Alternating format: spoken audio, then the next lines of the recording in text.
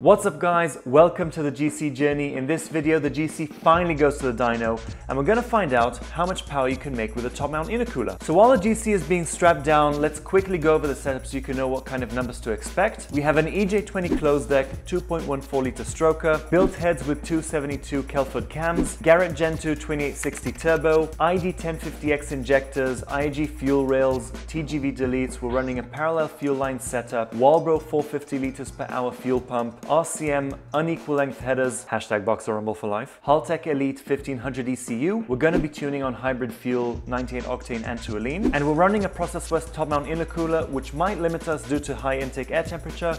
We're about to find out. So that's the current setup. I'm hoping to get 350, 360 wheel horsepower out of it. Let's go see if we can reach our power goal. And if not, uh, we'll then have a chat with our tuner Yotam and we'll see what parts we need to upgrade in order to do so.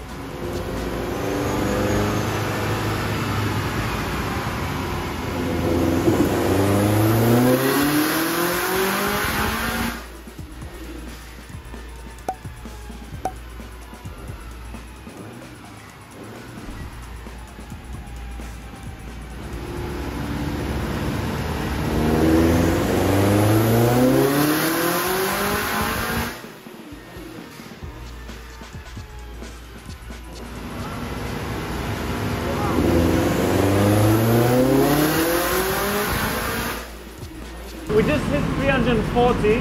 What do you think? Is there still somewhere to grow? There's a lot of go. Yeah? I can't believe it. Really? Yeah. Okay, let's see how we do.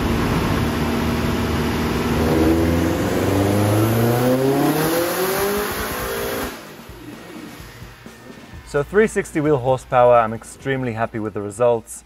Uh, the reason we didn't go above that number was because of the fuel system limitations and if we want to go above that number we'll have to redo the fuel pump wiring. For a daily driven street car it's going to be plenty enough power for me and it's going to be lots of fun on the track. You're welcome to check this video to my right if you want to see how the GC performed last time we were here on the dyno.